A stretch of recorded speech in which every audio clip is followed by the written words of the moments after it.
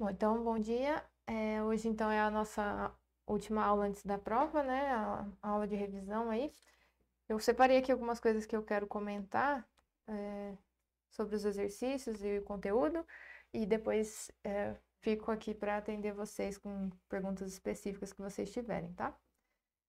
Então, é, só lembrando, né, o que, que a gente viu até agora, para começar, eu gosto de lembrar qual é o objetivo da disciplina, para que tudo se encaixe, né? Agora que a gente viu realmente o conteúdo, talvez o, o que eu falei lá na primeira aula sobre o objetivo comece a fazer mais sentido.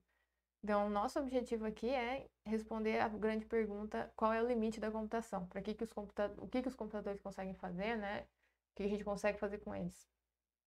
Só que para você conseguir responder exatamente qual é o limite da, da, da, computação, a gente precisa ter um modelo de computação, precisa ter, ter as coisas bem formalizadas, né? Para você realmente é, saber o que, que você, o objeto que você está estudando, né? E poder responder coisas sobre eles. Então, nosso objetivo mesmo é chegar ali em máquinas de Turing, que são os modelos de computação mais é, equivalentes ao que a gente tem hoje como computação. E as máquinas de Turing são autômatos, tá? Só que elas têm umas regras um pouquinho diferentes. Então, a gente começou vendo lá autômatos finitos, determinísticos, não determinísticos, autômatos com pilha, então foi crescendo o poder, né? É, mudando um pouquinho ali as regras, mas no fundo eu tenho estados e estou trocando de estados, fazendo alguma coisa. E máquinas de Turing são isso, né?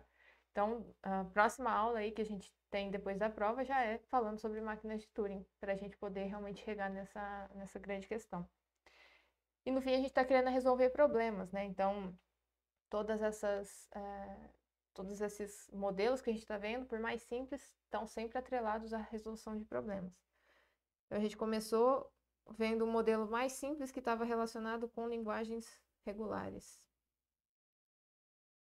Então, é, são as linguagens realmente mais, mais simples possíveis, só que já, elas já ajudam a gente a descrever problemas. Então, também lá na primeira aula eu falei, problemas estão é, bem relacionados, problemas de decisão em particular, né, estão bem relacionados com linguagens. Porque se você consegue é, um problema onde está perguntando alguma coisa que a resposta vai ser sim ou não, é, você pode muito bem modelar isso em uma linguagem onde tudo que estiver dentro daquela linguagem é relacionado com as respostas sim. Então, se o seu problema a resposta é sim, vai estar lá dentro da linguagem. Então, as linguagens estão bem relacionadas com problemas também por causa disso. Então, as linguagens regulares descrevem problemas bastante simples. Por exemplo, é, verificar se um número verificar se um número é par. A gente consegue fazer isso é, para o ímpar, né? Que seja verificar paridade. Vou deixar mais geral. É, então, se você tem um número, ou você pode, por exemplo, representar ele na, é, em binário, né? E se ele termina com zero, ele é par.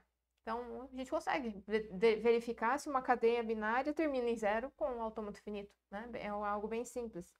Mas é relacionado a um problema. O problema de, dado um número, o número é par, né? Então, todos os números que forem pares vão estar dentro de uma linguagem das cadeias é, binárias, onde é, W termine, é, ômega, né, termina em zero.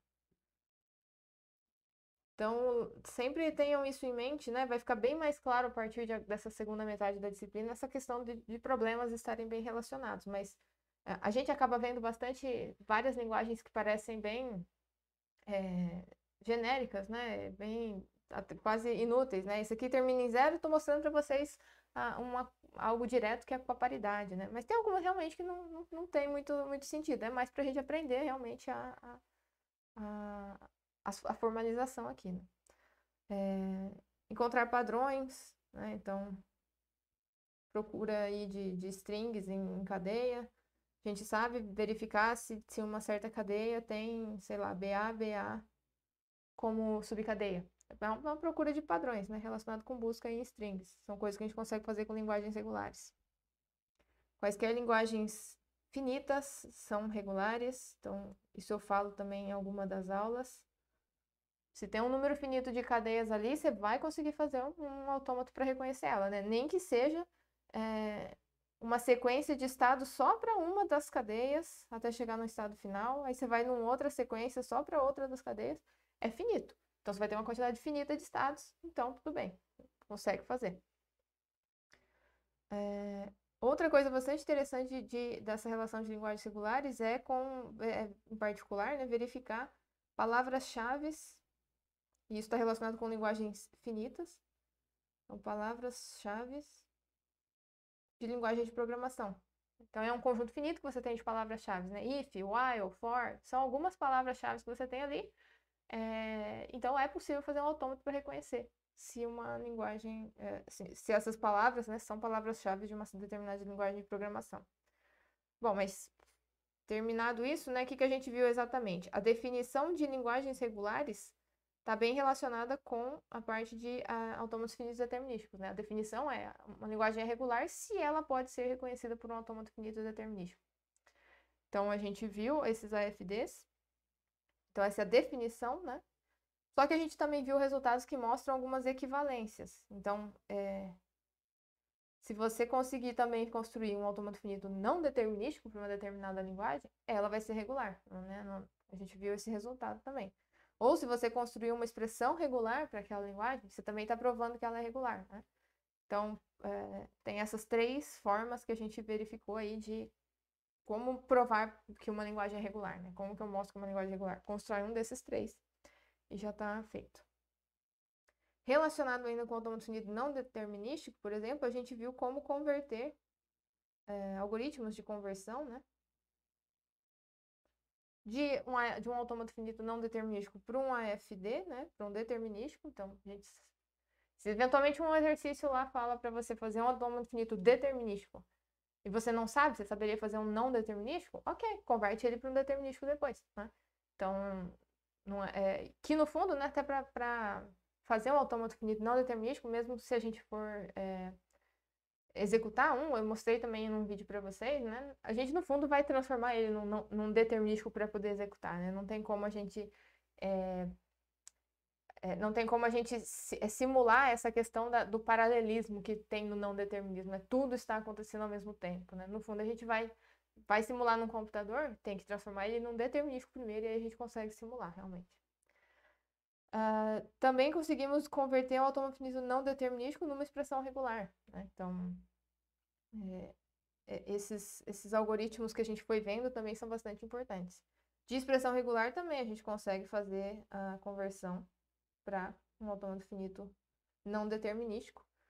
É, então, todos esses algoritmos são bastante importantes, tanto aqui, né, que, que, foi, que eu mostrei para vocês, claro, mas também vocês vão ver bastante de novo lá no começo de, é, da disciplina de compiladores, por exemplo. Então, o que, que é importante dessa parte de linguagens regulares? Exatamente tudo isso. É você conseguir, ser é capaz de fazer um autômato finito determinístico, um não determinístico, uma expressão regular, você é capaz de construir isso, né? Você é capaz de fazer a conversão dessas, entre essas, essas representações aqui.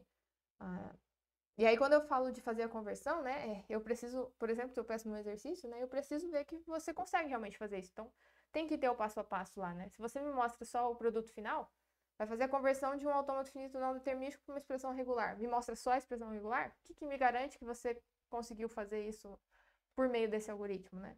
O importante aqui não é você. Se eu peço uma para você mostrar a conversão, eu quero que você saiba fazer a conversão, né? Não que você saiba escrever uma expressão regular, porque aí é uma, é uma, é uma coisa um pouco diferente. Outra coisa que a gente viu em linguagens regulares são as propriedades de fechamento. Né? Então, expressões regulares aí são fechadas em união. É, união, concatenação, estrela, que são as três operações básicas. Interseção também. Complemento. Diferença. E reverso. Ah, então, é, e essas propriedades de fechamento também ajudam a gente a construir é, essas, essas, esses formalismos, né? Ah, eu não sei fazer um AFD para essa, essa linguagem estranha aqui, mas eu estou vendo que ela é a união de linguagens menores e as linguagens menores eu conseguiria fazer. É, então, beleza, você sabe construir um AFD para ela sim, porque você sabe fazer a união de dois AFDs. Né? É, a gente viu esse tipo de construção. Então, ou, ou mesmo para. Vale para expressões regulares também. Eu não sei a expressão regular dessa, dessa linguagem estranha aqui, mas eu consigo ver que ela é a concatenação de linguagens menores. Então, faz a, uma expressão para cada linguagem menor, faz a concatenação delas, né? Então, a gente consegue é, se aproveitar dessas propriedades de fechamento para também construir essas, essas, esses formalismos. E isso, essas propriedades também podem ser usadas na parte de mostrar que algo não é regular, né? A gente viu explicitamente o lema do bombeamento, que, que nos deu a nossa primeira linguagem que não é regular, né? Vou colocar a NBN aqui. E o, então o lema consegue mostrar, é, o que ele fornece, né, lembrando, é que se a linguagem é regular, ela vai ter, ela vai poder ser bombeada. Ele não está dizendo que se ela puder ser bombeada, ela não vai ser regular, isso é falso, tá? E tem algumas linguagens que não são regulares e podem ser bombeadas. Então você não vai conseguir usar o lema para mostrar que ela não é regular. O que, você vai ter que fazer? Usar as propriedades de fechamento. Né? Então a gente consegue mostrando algumas que algumas linguagens não são regulares por meio do lema, usar elas em combinação com alguma outra, né? Então, que é isso que a, as propriedades de fechamento em geral a gente usa para mostrar que não é regular, né? Eu tenho uma certa linguagem X, faço uma operação dela com uma linguagem que eu sei que não é regular, ou, desculpa, com uma linguagem que eu sei que é regular em, em geral, né? Faço essa operação aqui, uma dessas operações de fechamento, né? Se a minha linguagem X com essa, com essa linguagem que é regular dá algo que não é regular, então a minha linguagem X não pode ser regular. Porque a minha linguagem. É, porque as linguagens regulares são fechadas aqui. Se eu fizesse uma operação com duas linguagens regulares, tinha que dar uma coisa que é regular. Então a gente viu um exemplo também disso. De fazer uma operação da, de uma linguagem desconhecida com uma que é regular e chegar em uma que não é. Bom, mas então a X, essa linguagem X aí não pode ser regular. Então, essa é uma, é uma coisa que a gente precisa ter em mente quando vai provar que algo não é regular também. Lembrar que, né, dá para usar essas, essas informações também. E aí, sobre linguagens regulares, é basicamente isso, né? Então, como reconhecer elas, como provar que coisas são regulares. Essas propriedades aqui que também me ajudam a provar que coisas são regulares.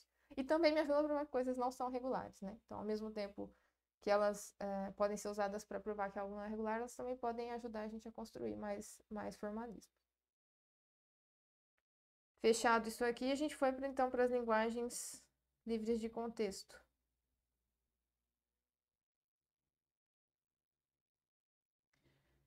E de novo, né, linguagens continuam uh, representando problemas, só que agora a gente conseguiu é, crescer um pouquinho, né? Sair da, da bolha desses problemas muito simples e passar para problemas um pouquinho mais complexos. Então, é, a gente já consegue fazer soma, né, de, de, de coisas. Então, se uma, uma linguagem que tem uma certa quantidade de A's, uma certa quantidade M de B's, e a quantidade de C's é N mais M.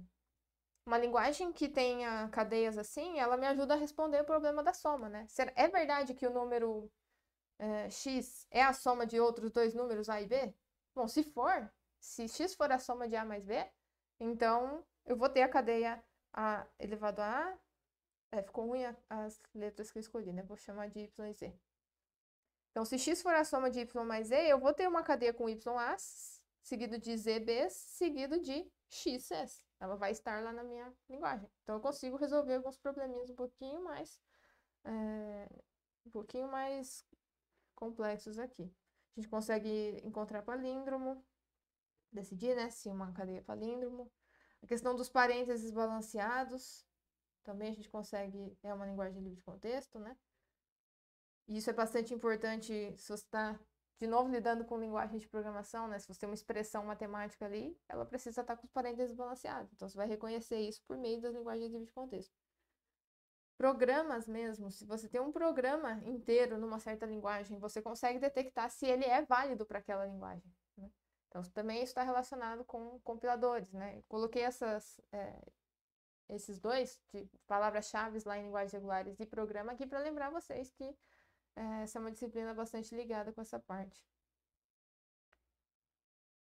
É... Bom, e aí com relação à linguagem livre de contexto, então de novo a gente viu a definição dela, né? É, se você consegue criar uma gramática livre de contexto que gera uma linguagem, então essa linguagem é uma linguagem livre de contexto, né? A definição dela então é em cima de gramática agora. Só que a gente também viu que isso é equivalente aos autômatos com pilha, né? Então criar um autômato com pilha para uma linguagem também mostra que ela vai ser livre de contexto. Lembrando que é um autômato com pilha é, não determinístico, né? eu até comentei também no vídeo, se você é, um autômato, autômatos com pilhas, é, autômatos com pilha, né, que são de, determinísticos, não não geram todas as linguagens que são livres de contexto. Então, isso é um pouquinho diferente, não tem equivalência aqui. Então, é o autômato com pilha que a gente viu mesmo na disciplina. Esse esse está totalmente equivalente às linguagens livres de contexto. Uh, eu mostrei para vocês também uma ideia né? Não a prova completinha, mas uma ideia de como converter autômato com pilha para gramática livre de contexto, né? É, então, pra, justamente para mostrar essa equivalência. E... Então, por exemplo, né, não é um tipo de exercício que eu vou pedir, tanto que nem tem na, nas, nas listas, por exemplo, né? Porque eu não dei exatamente a, a formalização, eu só mostrei a ideia. A gente também viu propriedades de fechamento aqui, né, nas livres de contexto, e aí a gente não tem todas as mesmas é, operações ali das regulares, a gente tem união, concatenação e estrela. Essas são as operações regulares, né? Elas vão estar presentes em fechamento de, de todas as linguagens que a gente vai ver ainda. É, mas aqui a gente também tem o reverso, verso, interseção com linguagens regulares. Né? Linguagens livres de contexto não são fechadas sobre interseção, mas com interseção com linguagens regulares aí sim. E não são fechadas sobre linguagens, é, sobre interseção, né, como eu acabei de falar. E é, complemento.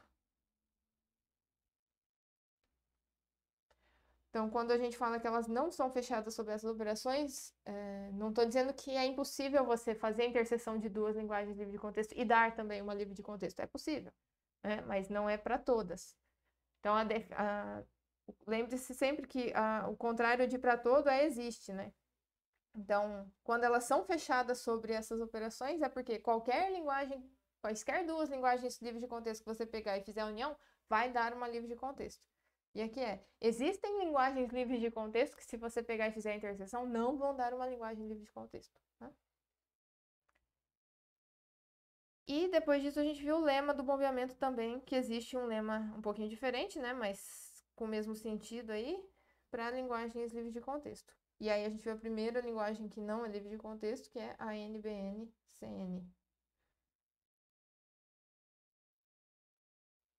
E aí, da mesma forma, né? Eu posso provar que algo não é livre de contexto usando o lema, mas às vezes você vai conseguir bombear coisas que não são livres de contexto. Mas tudo bem, porque o lema realmente não está garantindo que isso seria impossível. E aí, para isso, a gente é, pode lançar a mão aí das propriedades de fechamento, né? Para provar que alguma coisa não é livre de contexto, também dá para usar as propriedades de fechamento. Da mesma forma, né? Eu vou pegar essa linguagem estranha, fazer uma operação com a minha, com uma linguagem que seja livre de contexto e chegar em algo que não é. Por isso que a gente precisa sempre ter algumas linguagens que já não são livres de contexto, né? Então a gente mostrou algumas em aula. É, essa daqui, por exemplo, né? Sempre lembrem também que elas, essas, essas duas são básicas, né? A, a NBN é, a, é a, o exemplo de, do que não é regular. A NBN-CN é o exemplo do que não é livre de contexto. E aí, com relação ao conteúdo, foi isso, né? É...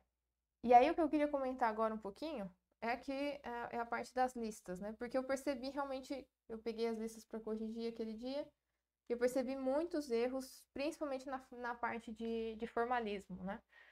É, essa disciplina tem a, palavra formal no nome, né? Então, quando eu vou pedir para você fazer um automata finito é, determinístico, não determinístico, qualquer coisa qualquer um desses, né, que eu vou pedir para você, ah, mostre que tal linguagem é regular, mostre que tal linguagem é livre de contexto.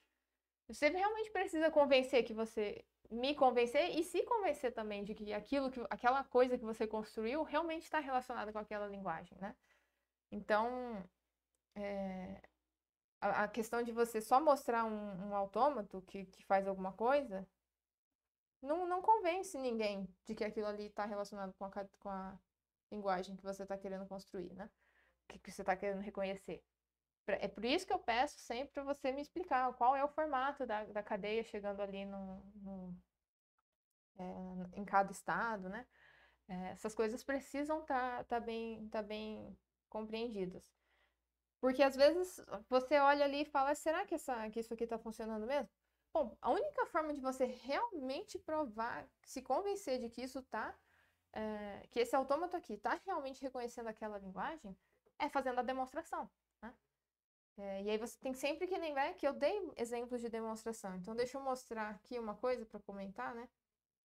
O, o, exemplo completinho de demonstração que eu dei foi em cima desse autômato aqui, né? Que tinha, são cadeias que tem o 1, 0, o 0, 1, né, na, como subcadeia. E aí a gente tinha que mostrar, né, um, um sei somente C no formato das cadeias. Então, o que eu peço de vocês nos exercícios, em geral, é, é, de, é essa descrição, né? Opa. Toda essa descrição de qual é o formato das cadeias.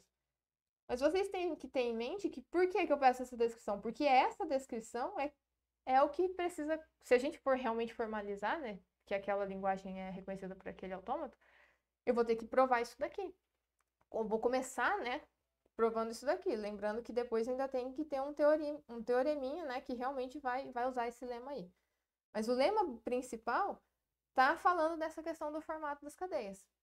E aí, como é que eram esses lemas, né? Em geral, a gente... Ah, vamos supor que a minha cadeia atual, ômega, chegou no estado Q1. Então, eu vou olhar para o começo da minha cadeia ômega e a última letrinha. Este começo vai ter uma certa... Vou ter uma certa informação dele por hipótese de indução. Ah, esse começo vai chegar no estado Q1. Ou então, né, este começo vai chegar no estado Q1 ou no estado Q2. Então, você vai ter uma informação sobre o começo da cadeia até para saber até que estado aquele, é, aquele começo chegou. É, essa informação que você vai ter, então, olha, descobri que o começo da minha cadeia chegou no estado Q2. Ah, então eu sei que ele tem esse formato aqui, por ter chegado no estado Q2. É isso que vai me ajudar a mostrar que quando eu li a outra letrinha, que é a letra X que vem depois desse começo, é, você vai ter que usar essa informação. Então, o fato desta cadeia anterior ter chegado no estado Q2 diz que ela tem esse formato. O fato dela ter este formato é que vai me ajudar a mostrar que no estado que eu estou tentando provar algo agora, ela vai ter o formato desse estado que eu estou tentando provar. Então, veja, a gente está aqui, por exemplo, né? Estou querendo é, provar qual é o formato de ômega quando ela chega em Q1. Eu vou precisar usar a informação de que o formato da cadeia anterior, quando chega no Q1, é, por exemplo, só tem uns, né? Que é o caso desse exemplo aqui. Então, olha, se, o se a cadeia anterior chegou, que chegou até aqui, só tem uns, e eu acabei de ler um 1, então o formato de ômega só pode ser um monte de uns também. Então, esses formatos que a gente coloca aqui, eles, vocês têm que lembrar que eles estão ali para ajudar a gente a mostrar é, entre os estados mesmo, né? Deixa, vou tentar deixar isso um pouquinho mais claro com um exemplo que tinha na lista aqui, que era a linguagem Opa. Cadeias A e B. Tal que é, ômega não contém AB nem BA. Então, o autômato para essa. Uma, uma coisa que a gente poderia fazer, né, é tentar. Como são cadeias que não têm AB e BA? Você ficasse ali tentando imaginar como que é o formato dessas cadeias, você ia perceber que elas só podem ter As ou só podem ter Bs, né? Se você se você estiver lendo Bs e em algum momento ler um A, pronto, criou um BA, né? É, e aí, na hora de, de fazer esse FD, muitos de vocês fizeram dessa forma aqui mesmo. Então, ah, é, bom, primeiro, a cadeia vazia não contém AB nem BA, então realmente eu posso aceitar ela. Se eu ler um A, eu posso continuar lendo mais As, afinal de contas, qual, qualquer quantidade de As é, vai estar tá na, na linguagem. Se eu ler um B, eu posso continuar lendo Bs, e isso também vai estar tá na linguagem. Só que isso aqui é um AFD, né? Então eu preciso mostrar, a partir desse estado, eu preciso mostrar todas as, é, todas as expressões saindo, né? É, aliás, todas as, é, as, as trocas aqui, lendo qualquer, qualquer símbolo do alfabeto. E aí eu vou para um estado lixo aqui, que eu posso continuar lendo qualquer coisa ali. Aí qual é o formato desses, deixa eu chamar aqui de estado 1, estado 2, estado 3, estado 4. Então, primeira coisa, né? Formalismo. Você tem um estado inicial, muitos de vocês em vários exercícios não colocaram essa setinha do estado inicial. Então, se não tiver uma setinha indo para o estado inicial, eu não vou saber qual é o estado inicial. Seu autômato não tem um estado inicial. Se você não colocar também a, as duas, a bolinha dupla, eu não vou saber qual é o estado final. E o seu autômato, portanto, não vai ter um estado final. Então, fiquem atentos a esse tipo de, de coisa.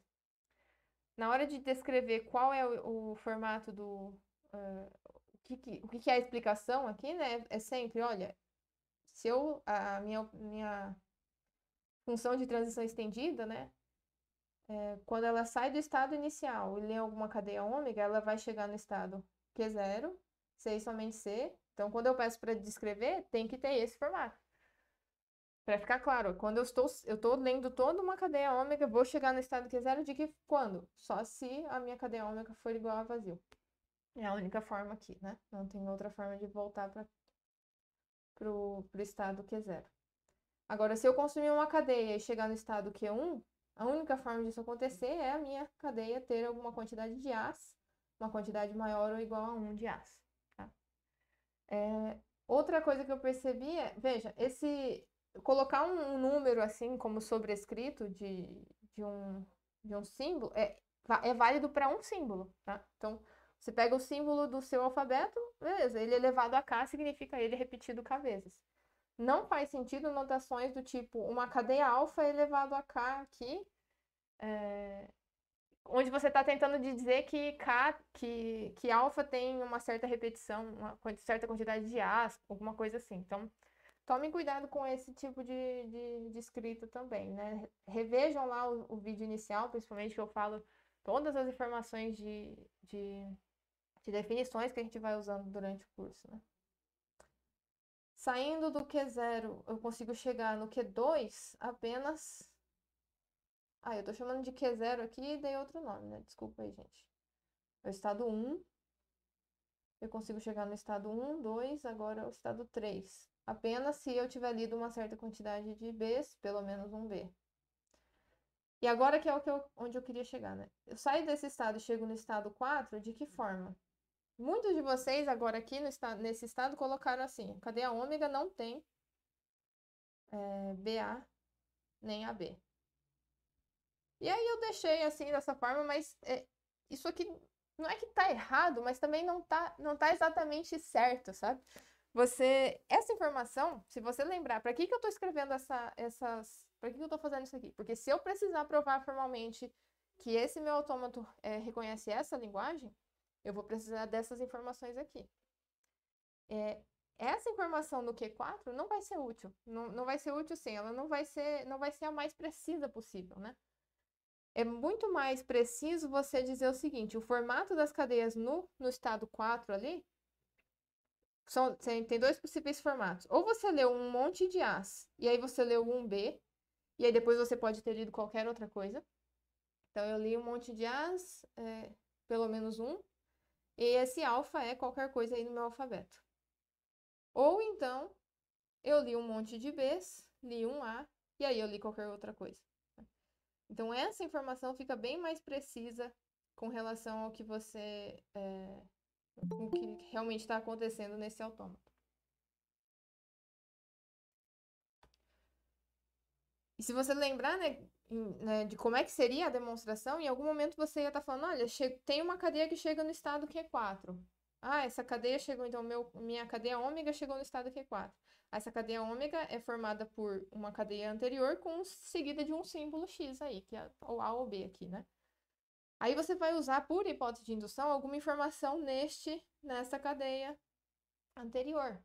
Essa cadeia anterior pode ter ido, por exemplo, até o estado 3. No estado 3, a única informação que você vai ter é tem um monte de Bs, né? Então, ah, tem um monte de Bs, junta com o fato de eu estar lendo um A, oh, consegui chegar no Q4, né? Então, é, o que está na na, na, no estado 3 foi o que me ajudou a escrever esse formato aqui para o estado 4, tá? Então, tentem se lembrar disso na hora que vocês estiverem é, descrevendo o que, que é cada estado, né?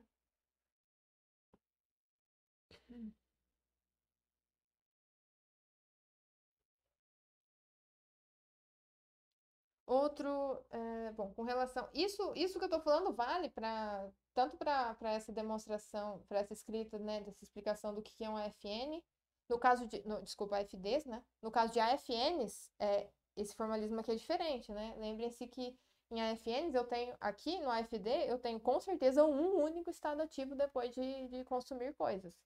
No AFN, não. Por isso que a notação é: ah, um vai pertencer ao conjunto de estados ativos a partir de estado 1, lendo uma certa cadeia, né? Então é, é diferente essa, esse formalismo aqui. Mas essa coisa de tentar ser o máximo. É, tentar ser o mais descritivo possível aqui vale para isso, vale também para gramáticas, né? Então, deixa eu mostrar aqui de novo, né? Então, aqui foi útil porque justamente você você usava uma informação da cadeia anterior num estado que ela para certo estado que ela ia. Então, tá, pega o formato daquele estado, né? Por isso que é importante saber o formato de cada estado. É... Aqui para frente, a gente tem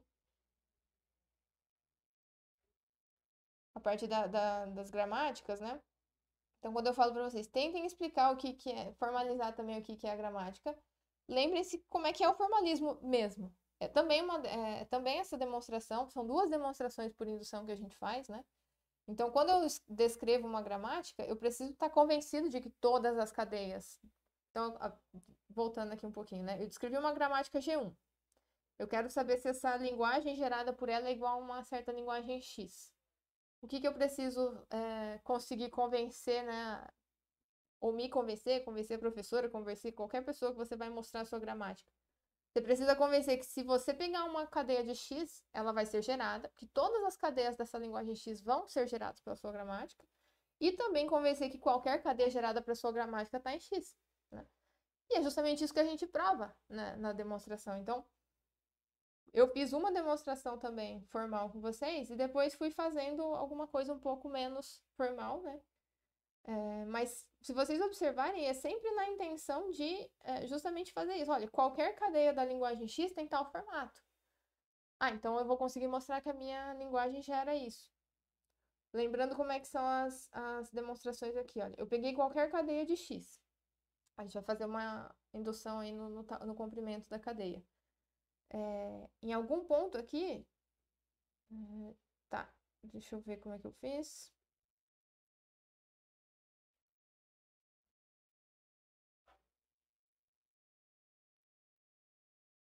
Assim.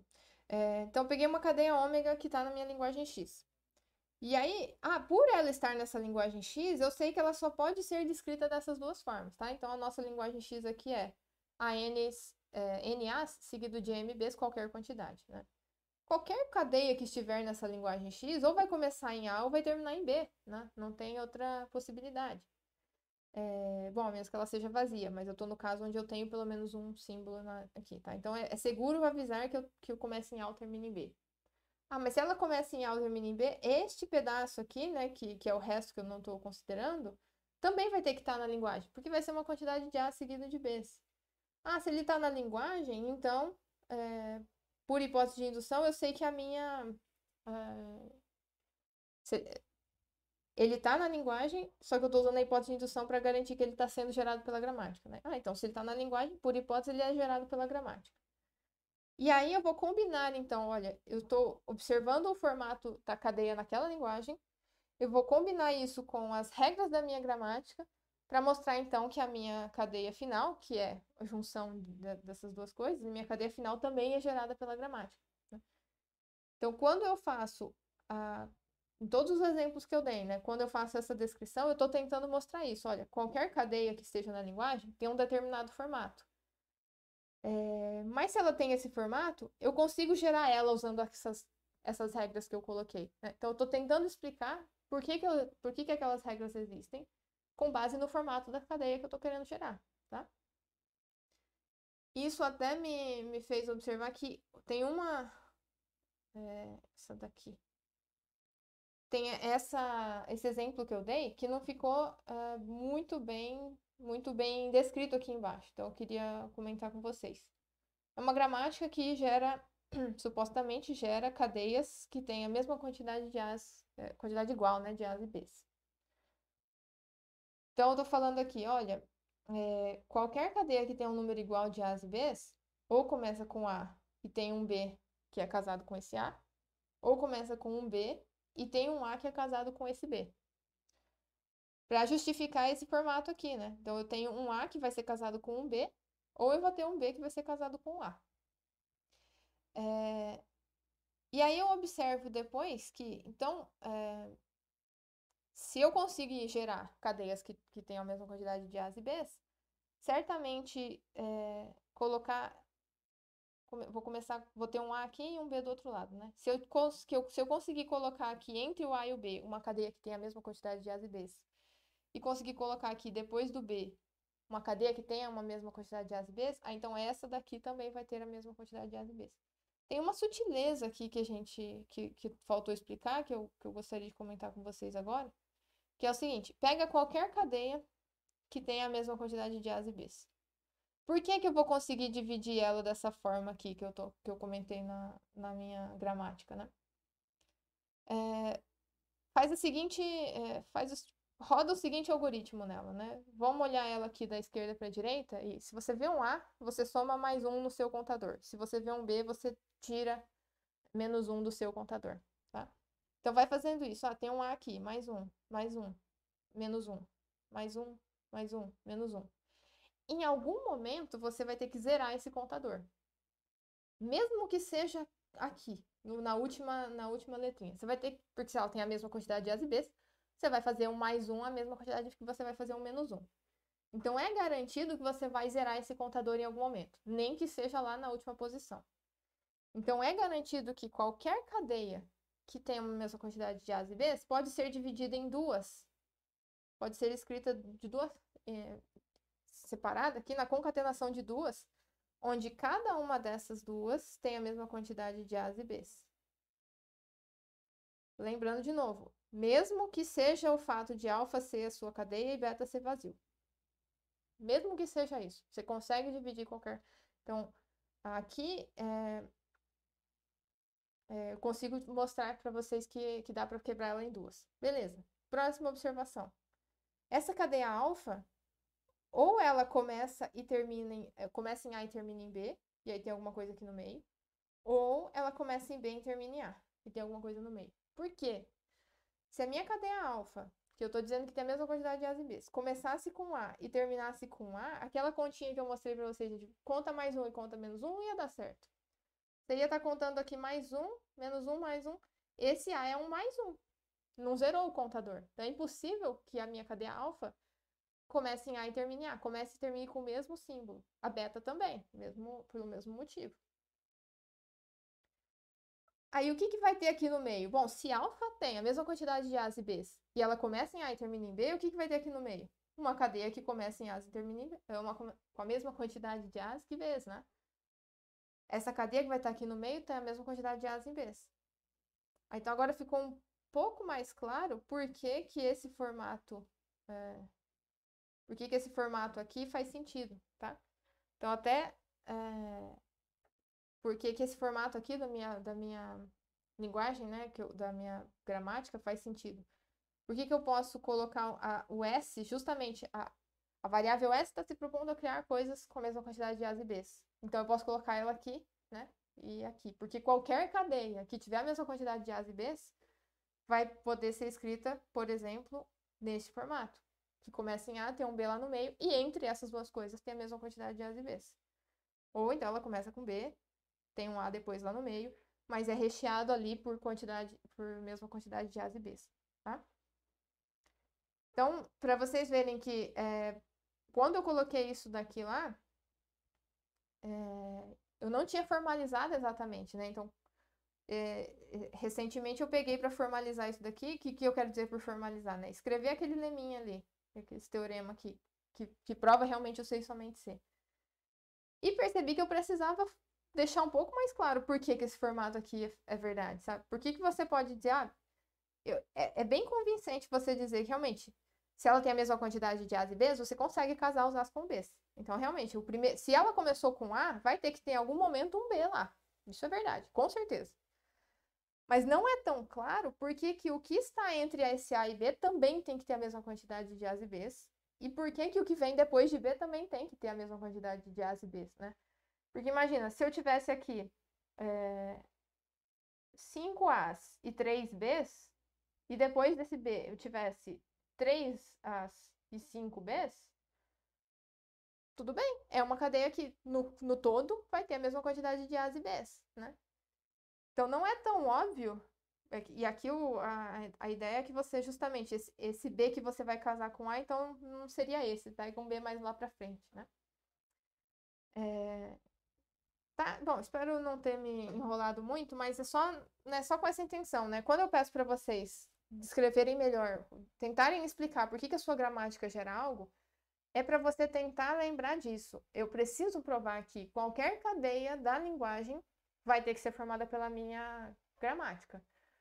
Então, qualquer cadeia da minha linguagem vai ter que, de alguma forma, ser escrita com coisas que são relacionadas com essas regras da gramática. Né?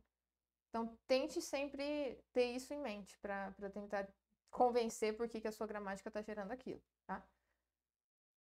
É, é, até uma das formas que, que, que, eu, que, eu, que eu uso para gerar a gramática. Como é que eu vou gerar essa gramática aqui? Eu vou começar primeiro pensando qual é o formato das cadeias que eu estou querendo né, construir.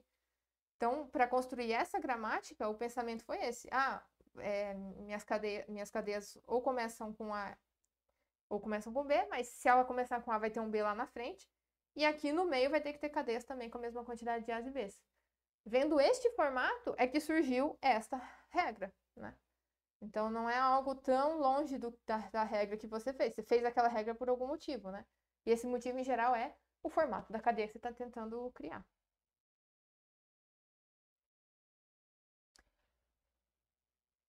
Tá, com relação ao formalismo que eu me lembro de falar era isso. Uma outra coisa que eu queria comentar é na conversão de. É, no algoritmo de conversão de expressões regulares para autômatos finitos não determinísticos, né?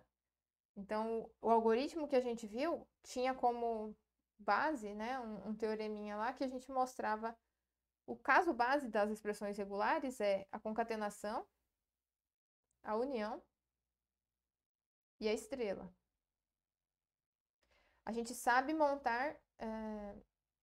Ai, desculpa, gente, tô me confundi. O caso base de expressões regulares que a gente sabe construir é expressão para uma única, para uma única letra do alfabeto. Aí o meu autômato é assim.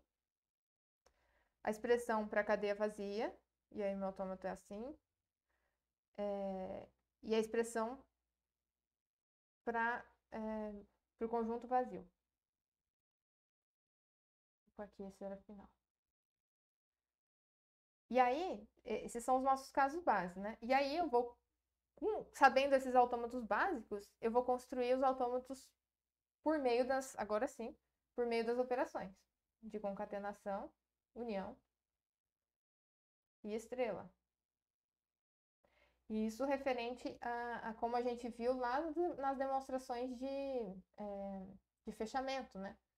Por que, que as é, linguagens regulares são fechadas sob concatenação? Porque se você pegar um, um autômato para uma linguagem e um autômato para outra, e fazer uma conexão ali dos finais do primeiro para o inicial do segundo, é, você está criando um autômato para concatenação. Né?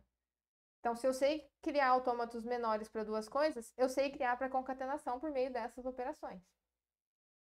Só essas três operações. Então, se a sua expressão regular, é, que era o caso do, do exemplo do. Deixa eu colocar aqui. Eu não, eu não lembro qual era exatamente a linguagem. Deixa eu colocar esse. A mais ou B mais, seguido de A mais. Só para a gente discutir aqui, né? Por que, que, é, por que, que essa expressão regular aqui é uma expressão regular de fato. Né? Primeira coisa, expressões regulares só tem essas três operações. Então, se tem um mais ali, tem algo errado. Não, o mais não é uma operação de expressão regular. Ele é um, o que eu chamei lá de açúcar sintático. É algo para facilitar. Para ao invés de você ter que ficar escrevendo sempre a, a estrela, você escreve a mais. Então, primeira coisa, transforma isso numa expressão regular realmente válida. Eu só tenho é, as operações de concatenação, estrela e união. Agora sim, a partir dessa eu vou construir a minha, o meu autômato finito não determinístico, né? Primeira coisa que você tem que fazer é quebrar isso daqui em expressões menores. Então eu observo que eu tenho é, uma, uma coisa importante aqui, que está entre parênteses, né? Então, isso aqui vai ser uma, é uma certa linguagem E1 aqui, concatenada com uma outra. E1 vai ser, então, A, A estrela, ou B, B estrela. E E2 vai ser A concatenado com A estrela. Bom, mas E2 também ainda é, é uma concatenação de outras duas. E3 e E4. Bom, E3 é só a letra A. E E4 é o fechamento de A estrela, a, a é, desculpa, é a estrela do A, né? E o A é o E3, então é o E3 estrela. Quando é, eu fiz isso em todos os exemplos que eu mostrei para vocês, né? Comecei com uma certa expressão grande lá e vai quebrando ela em, em, expressões menores até que você tenha exatamente uma operação ali, ou nenhuma, né? Que é o caso de chegar nos casos base. Então, é, se, quando você começa a quebrar ela e deixar uma única operação, aí vai facilitar na hora de montar as coisas, né? Então, ah, E é a, E3 é só a letra A? Ah, então beleza, eu tenho um autômato só para a letra A. Ah, E4 é, é a estrela da letra A? Ah, então eu vou criar um estado inicial novo, que é final também, que vai apontar para o estado antigo ali, e vai ter essa volta aqui, tudo com epsilon, né? Então, esse vai para a minha, minha operação 4. Esse aqui é minha operação 3. Então, quem que é a, a estrela? Que é o a mais, né? É a concatenação desses dois. É a concatenação desses dois. Então, o, o autômato final, né? Vai, vai, bom, vai o primeiro aqui. Vou ligar ele, os estados finais dele, né? No estado inicial desse outro. E aqui a gente tem esses dois estados finais. Aqui foi com e aqui é letra A, tá? Então, agora sim, esse é, este é o autômato para reconhecer A+, certo? Tem um monte de epsilon ali que poderia... Sim, mas né, é aquilo que eu falei. Eu tô querendo... Não tô querendo saber se você sabe construir um autômato para A+. Eu tô querendo saber se você sabe converter o A+, por meio daquelas operações que a gente viu, né? É, para chegar nisso daqui certamente tem um autômato bem melhor para reconhecer a mais. Né? Mas, é, de novo, né, não é esse o nosso... Bom, que aliás, né, aqui. Lê um A e pode ler outros As. Né? Então, beleza, esse é um autômato que reconhece a mais. Mas este é o autômato formado a partir daquelas operações, tá? Então, são duas coisas diferentes.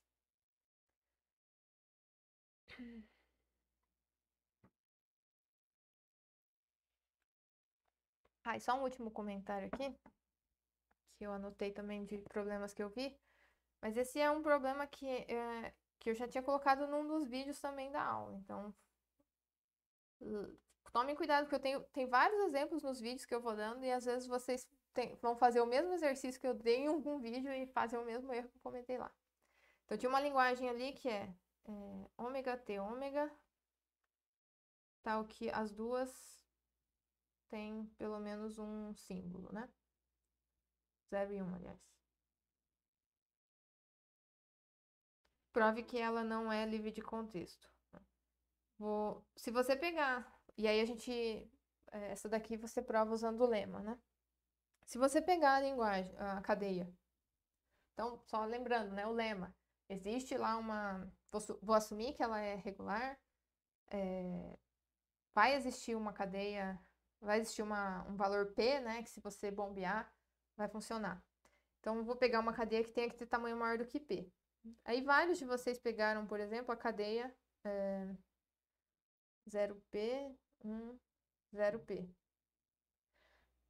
Ela está na linguagem, porque eu consigo dividir ela em três partes. Por exemplo, pegando ômega como sendo P zeros aqui e T como sendo 1. Tem outras formas de dividir ela em três, para fazer ela caber aqui naquela linguagem, tá? Eu poderia pegar, sei lá, só um zero aqui como sendo ômega. E a minha cadeia T pode ser é, os outros P menos 1 zeros, seguido do 1, seguido de outros P menos 1 zeros, tá? Então, quando eu mostro isso, eu já estou falando para vocês, é, depois que eu bombear essa cadeia aqui, eu, eu vou olhar para a nova cadeia e vou tentar dividir ela para caber na linguagem, né? Então, ah, essa minha cadeia, deixa eu chamar ela de outra coisa aqui, né? Mi. É, vou bombear essa. Então, ela vai ser quebrada ali em três partes, né? Alfa, beta, gama. Sendo que o tamanho de beta é pelo menos um. É, e aí a gente observa que por ser é, alfa e beta, né, tem que ter tamanho no máximo P. Ah, então alfa e beta só tem zeros. Ok. Então beta tem uma certa quantidade de zeros aí. Aliás, beta é do tipo zero elevado a algum R. Então quando você bombear, alfa, beta, beta, gama, você vai ter a cadeia 0P mais R, 1, 0P. Aí muitos de vocês, quando usaram isso, colocaram ali, olha, aqui o T é 1, né? Porque eu tinha dito que o T era 1 lá em cima. Então o T vale 1 e o ômega é do início é diferente do ômega do final. Por isso que ela não está na linguagem. E isso é errado. Porque você, quando você pega uma cadeia e mostra que ela está na linguagem, é, é para aquela cadeia que você está mostrando aquela divisão. Né? Essa aqui é uma nova cadeia. Tem alguma forma de dividir ela é, para fazer ela caber na linguagem? Tem. Né? Se você pegar ômega como sendo 0p e o seu t como sendo r zeros seguido de 1, ela está na linguagem. Então, esta cadeia não me ajuda a provar que essa linguagem não é regular. Mas essa linguagem não é. É só pegar uma outra cadeia aí que te, que te ofereça é, mais informação, né?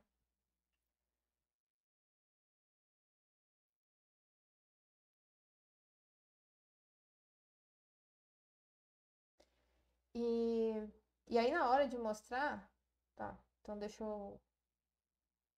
Então, essa daqui não vai me ajudar a mostrar que ela não é regular, né?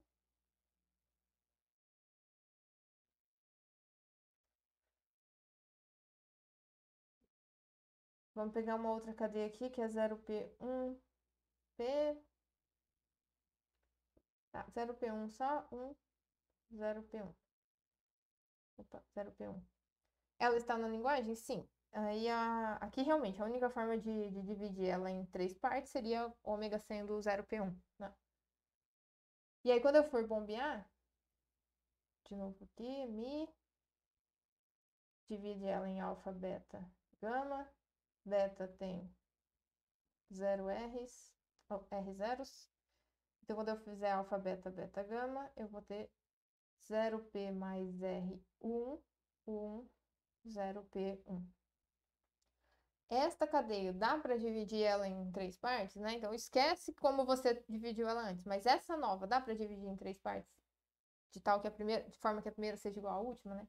Agora sim não vai dar. E só que não, não, não é para você chegar na demonstração, também usando o lema, e falar, escrever tudo bonitinho lá no começo, né? Ah, suponha que o lema vale, seja P é, dado pelo lema, seja essa aqui a cadeia que eu vou escolher.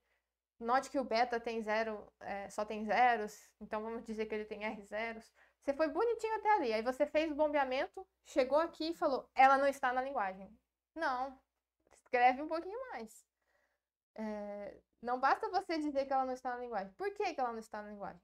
Porque, veja, e, e, também não é só, a explicação aqui não é, ah, não, ela não está na linguagem porque não dá para dividir em três partes. Não, isso também não é explicação decente. Não dá para dividir em três partes, por quê? Se você, é, qualquer coisa que tivesse aqui, é, veja que o seu ômega, né, por é, ele estar aqui no final, ele tem que terminar em 1. Né? Então, quem você vai escolher para ser ômega, se, se, você não quiser escolher todos os P zeros aqui, tudo bem, mas o que você escolher vai ter que terminar em 1, porque a cadeia inteira termina em 1. Né? Então, aqui no começo, este primeiro 1 e termina em um único 1, né? Então, esse primeiro 1 que me aparece aqui na, na, na cadeia, vai ter que estar na cadeia ômega. Bom, então, aí sim, aí eu, eu sou obrigada a pegar é, esses dois trechos aqui para chamar de ômega lá, mas eles não são iguais, porque o R é maior do que 1. Né? Então, tem um, tem um extra a mais aí, né? Não é só você chegar e falar, ah, bombeei, então não está na cadeia. Não. Se você, eu até às vezes no, escrevo no, no, nos vídeos dessa forma, né? Mas se você ouviu o que eu estou falando, eu explico, eu explico um pouco além, né? Eu não digo só, ah, não está na cadeia, não está na linguagem, acabou. Não está na linguagem por tal motivo. Sempre, sempre tente descrever por completo esse motivo. Beleza. É, Nossa, deu até mais tempo do que eu achei que iria, que iria dar, mas agora a minha ideia é tirar dúvida de vocês, se vocês quiserem. Perguntar alguma coisa específica aí?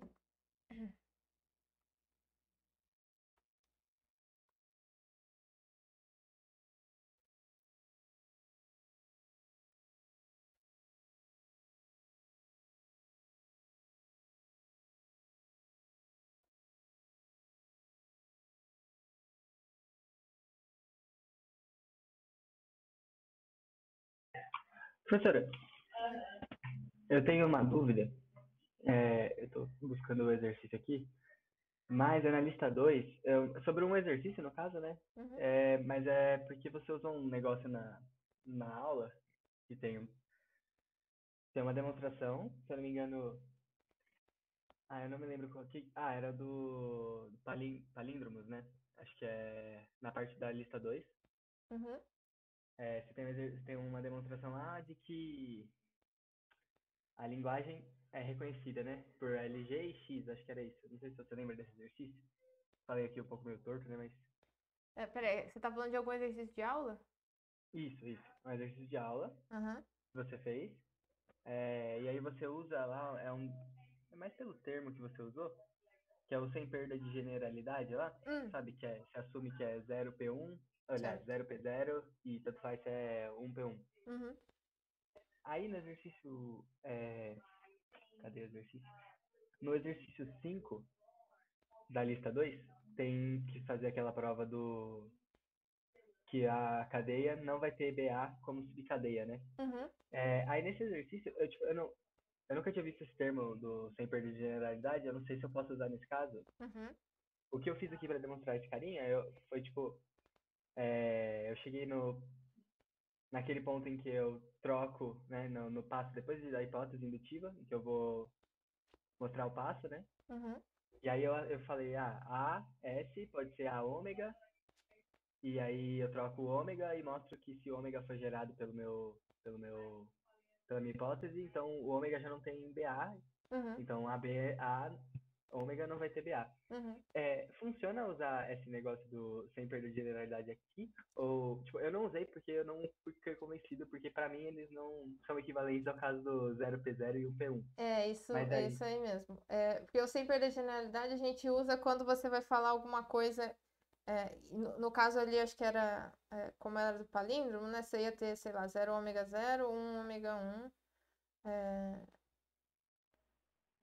é, eu não vou lembrar exatamente, não achei Era ali onde que era, mas a, a, a- em geral você usa assim: eu vou falar um monte de coisa agora, e depois eu iria querer falar isso trocando uma, uma coisinha ali só. Um- Se você, ia ser, ia ser exatamente a mesma coisa, né? Então, quando a gente usa sem perda de generalidade, é, é nesse sentido. Eu ia falar a mesma coisa, só mudando um- uma coisinha, né? É, aqui, aqui é um pouquinho dif... não é, não é tão diferente não, porque você vai falar, é, ah, se a minha cadeia é, não tem A's e B's, colocar um A antes não vai formar, não vai formar BA, aliás, né? Se, Uhum. se, ela, se ela já não tem BA, colocar um A antes não vai ter. Se colocar um B depois também não vai ter. Então, é bom você fazer essas duas observações aqui nesse caso. Não dá, não Tá. dá exatamente aqui para usar esse. É, É. foi, o que eu, foi a conclusão que eu cheguei, mas eu fiquei na dúvida, assim, se podia ou não. Sim, Ah, eu não usei, no caso. Tá bom. Obrigado. de nada.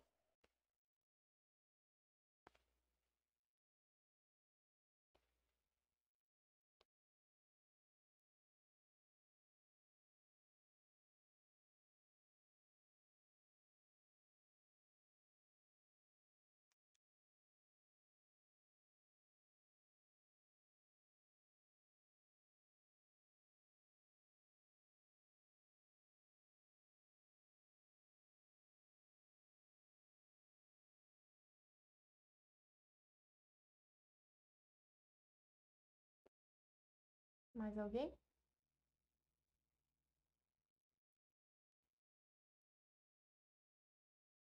Professora, eu só gostaria de perguntar, a senhora pode disponibilizar esse material de hoje? É que parece que você apontou todos os erros que eu fiz. Eu achei que fosse direcionado. Beleza. É que tá meio riscado bem. aqui, mas é, vai ficar, vai ficar a aula gravada também, né? Mas eu posso mandar Ah, depois. tudo bem. Então tá, obrigado. De nada. Já esqueci.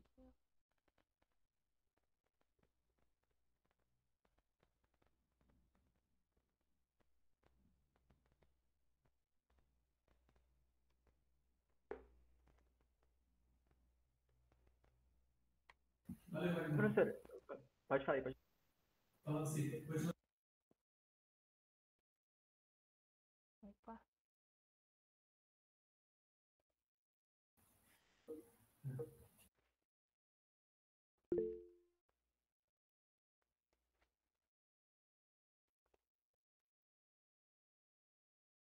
Item E do exercício 7. Uhum.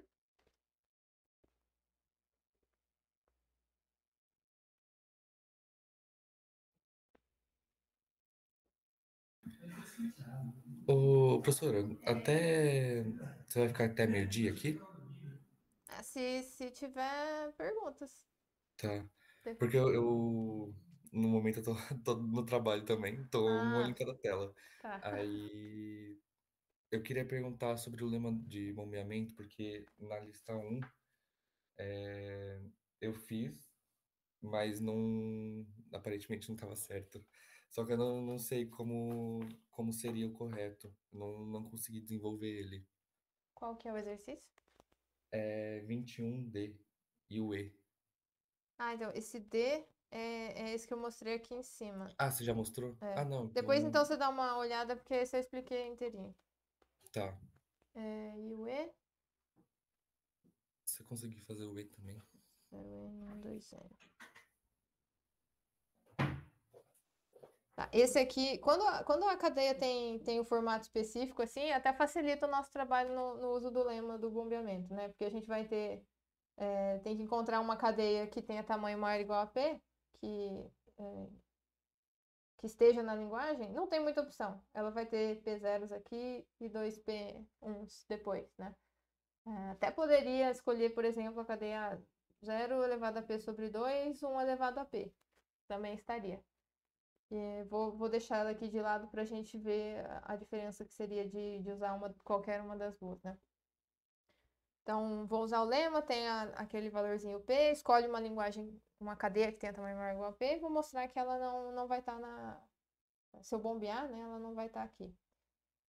Bom, ela tem que satisfazer aquela, ela tem que ser, você tem que conseguir dividir ela em três partes, né, que vão satisfazer aquelas três coisas. Então, alfa, beta vai ser menor do que P, menor igual a P, né?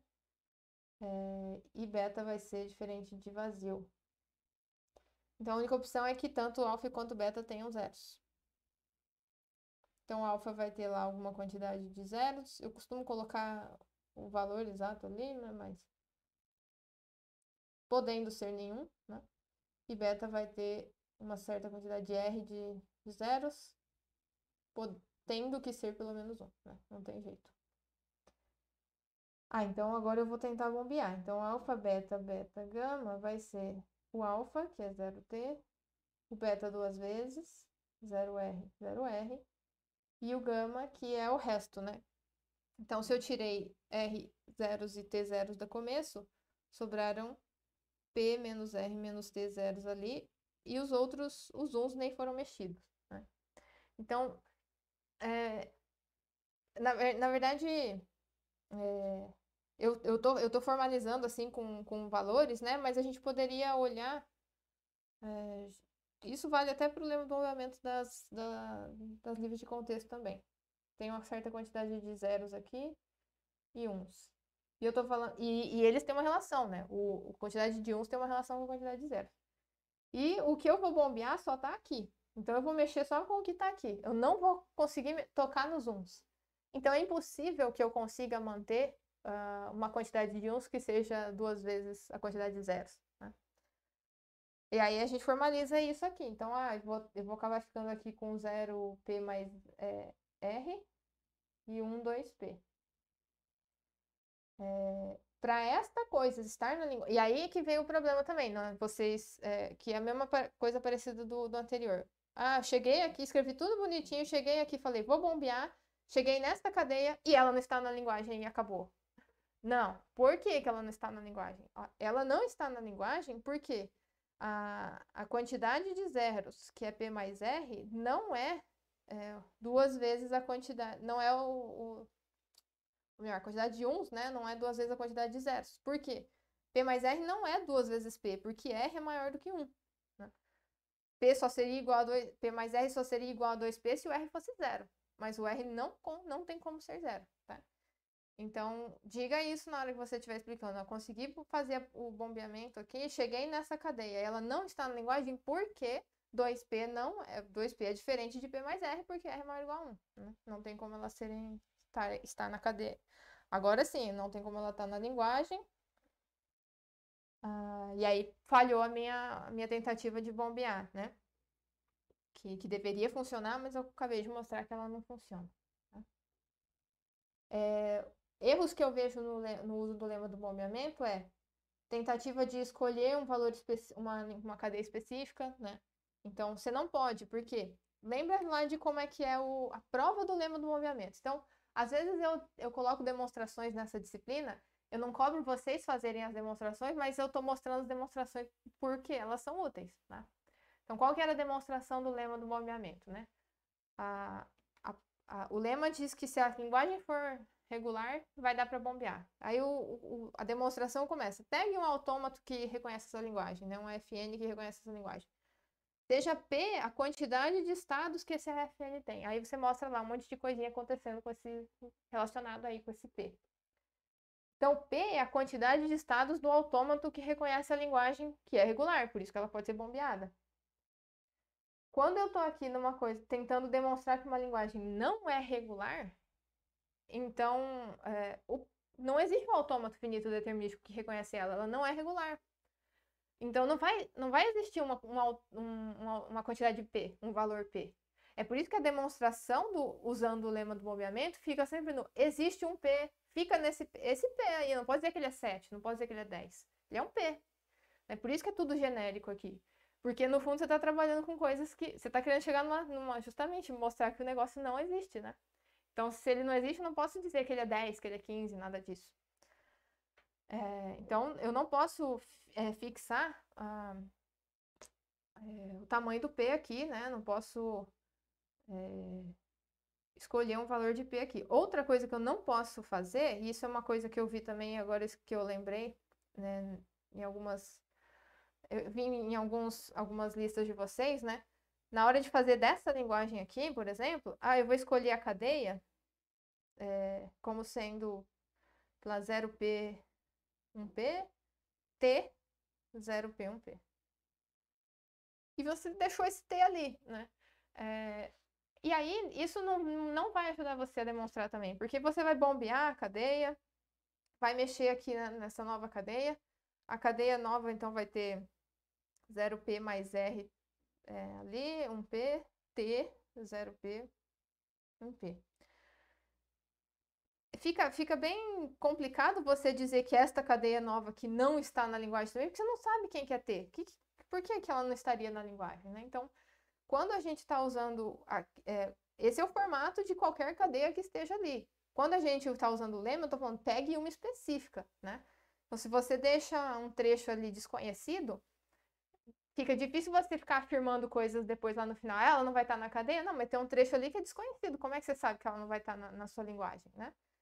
Então, esse é um outro problema também que eu vejo no- nessas demonstrações do lema. É, vocês têm que escolher uma cadeia, sim, tá? O- a única coisa desconhecida ali é o P. Que, que- mas aí você vai tá, ela vai tá, você vai estar dizendo que tem uma certa quantidade de zeros, uma certa quantidade de uns relacionado com esse P. Mas o resto tem que ser conhecido, né? É zeros né, e uns nessa ordem, né? Coisas desse tipo vão ter que ser conhecidas.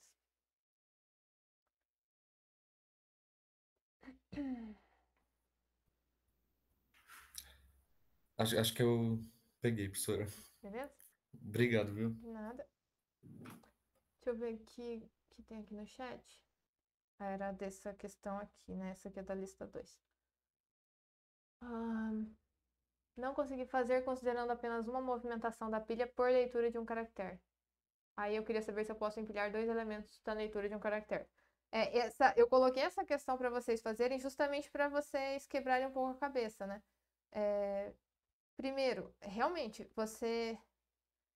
é, uma forma de resolver isso aqui seria pensando, ah, toda vez que eu ler um 1, eu vou empilhar dois Zs, por exemplo, que é para um zero consumir um Z, né? E aí você fica com essa, com essa coisa. É, só que a nossa a definição do nosso automato com pilha é ler uma coisa, né? Empilha uma única coisa. E, e tem é, até outras definições que permitem, por exemplo, empilhar já uma cadeia inteira lá na pilha, né? Bom, se eu não consigo empilhar duas coisas, o que você tem que fazer aqui é usar os, os, é, os estados para te ajudar, né? Então, eu estou num certo estado aqui, que eu gostaria de empilhar duas coisas quando eu ler, né? Não, não faz sentido você fazer um loop, por exemplo. Ah, li um 1, empilha e um, não, não importa, empilha um Z, é, não faz nada, empilha um Z. Não é garantido que você vai conseguir seguir essas duas, né? Então, use um estado novo. Uma coisa que você pode fazer é usar um estado novo.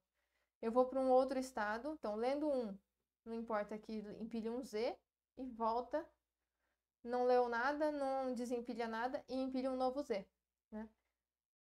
Não mexe mais nesse esse estado só serve para isso. Só serve para você falar, empilha duas coisas de uma vez. Né?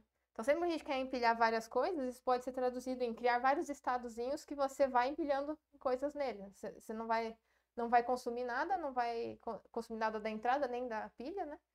Mas vai estar tá empilhando coisas ali. Então, essa é uma forma de, de você empilhar duas coisas de uma vez. É usar um estado lá só para te fazer isso. Né? É... Outra coisa, outra dica que eu posso dar nesse exercício aqui também, que é, que é um jeito que eu escolhi para fazer, para não ter que ficar fazendo isso às vezes, de, de empilhar duas coisas, é ter mais de um símbolo, né? Então, você pode ter um símbolo é, Z2, por exemplo, que indica que são dois Zs empilhados. Aí, se você lê um zero, por exemplo, e tem esse símbolo Z2 lá na, na pilha, ele está te indicando, olha, eu preciso ler dois zeros. Eu acabei de ler um, desempilha ele e empilha, por exemplo, um símbolo Z1, para indicar que você só precisa agora ler mais um, um zero, né? Então, se você usar bastante símbolos, você pode evitar, talvez, de ter que ficar escrevendo, fazendo vários estados para simular isso, de ter que empilhar várias coisas de uma vez. Isso pode ser uma forma também de é, para resolver esse exercício aqui.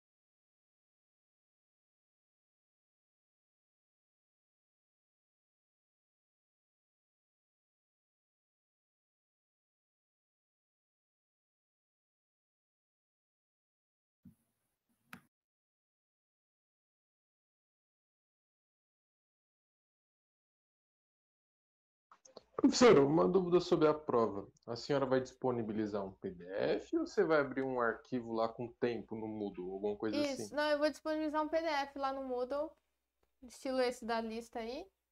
E aí vocês podem fazer a qualquer momento. Ah, tá. É porque a pior coisa vai ser uma prova de cálculo com o cronômetro do lado, né? Nossa, que ódio. Ah, então tá, professora, obrigado. É, a gente não pode prever também, às vezes nesse meio tempo você fica sem energia, sei lá. Né?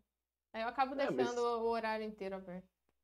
Ah, é porque o horrível também é, é só três horas tempo pra você raciocinar a questão, ver se funciona, Sim. testar uma coisa, testar outra, né? É, assim, eu, eu, eu, quando eu faço essas. Por mais que eu deixe as 72 horas abertas, a minha intenção é que vocês não gastem realmente mais do que duas horas. Vai gastar um pouco mais por causa da, de é, tirar foto e tal, né? Mas a minha intenção é que vocês não gastem muito mais que duas horas fazendo mesmo, tá? Mas eu Ah, deixo aberto lá pra, justamente, pra, ah, tem algum problema, alguma coisa assim, vai dar tempo de fazer ainda assim. Ah, tá. Ainda bem que a senhora é esperançosa, né, professora? Eu tenho essa esperança. Então tá. É que, é que, de fato, assim, eu vou, eu não vou colocar lá, por exemplo, uma linguagem que eu já dei, né? Porque aí, é, então vai precisar de vocês pensarem um pouquinho mais. Mas também não é pra, não é um negócio absurdo que vai precisar de dois dias. Ah, Espera. espera, né? É intenção, Podia é colocar a umas intenção, bônus é também, a né? intenção. Ah, Deixar umas bônus também. pode ser. Sei lá, sugestão, Mas aí né? você quer passar realmente 72 horas fazendo, hein? Só pra ter certeza que eu vou passar. ah, então tá. Obrigado. Nada.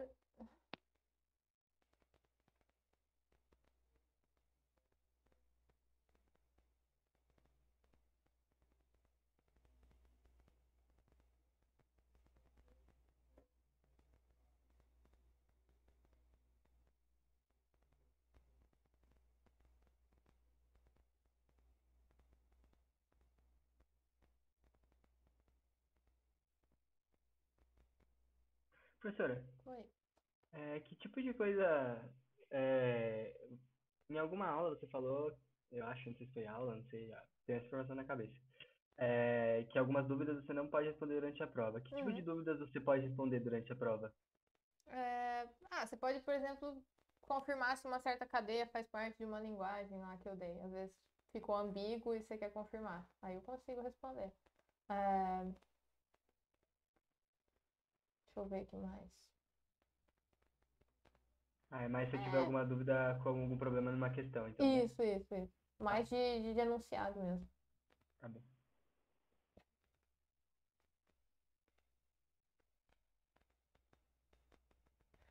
Por exemplo, já aconteceu de virem me perguntar o que, que é justificar, né? Porque eu coloco lá, construa um AFD e justifique a sua resposta. O que, que é justificar a resposta de um AFD? Na prova eu não vou responder isso, porque é algo que vocês já deviam estar sabendo. Justificar é saber, né? aquela coisa da, da- das cadeias, né? De, de mostrar o formato em cada. eh, ah, votar no estado Q0, depois de ter lido uma cadeia, sei somente C. Isso é justificar, né? É nesse sentido aí.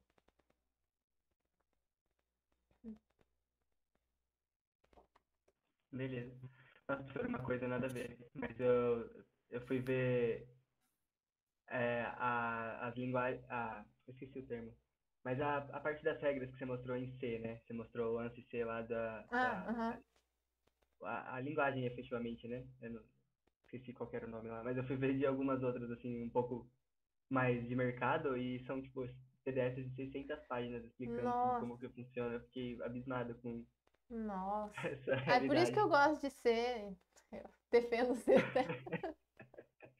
Vê, é um, é um meia dúzia de regras lá, você já forma qualquer programa.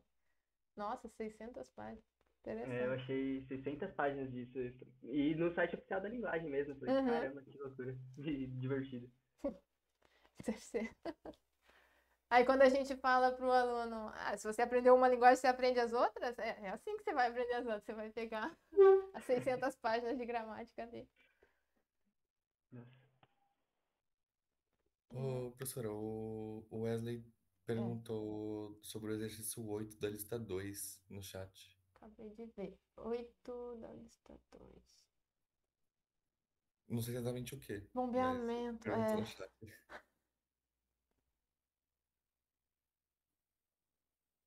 É, bombeamento em, em em- nas que não são livres de.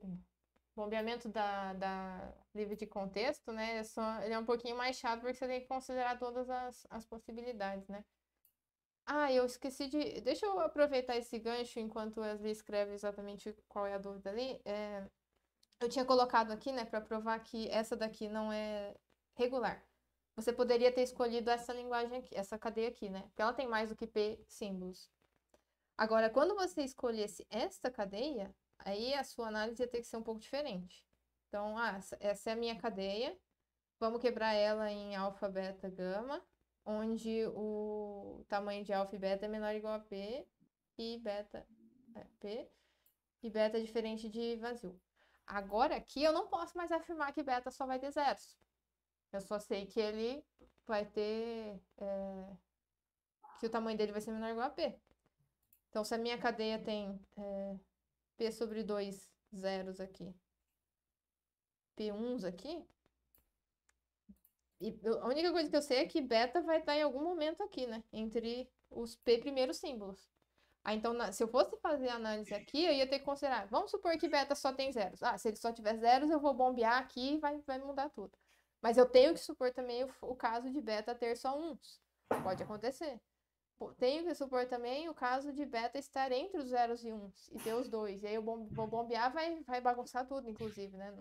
Por mais que mantenha, às vezes, a quantidade de zeros e um, vai, bombear, vai estragar tudo.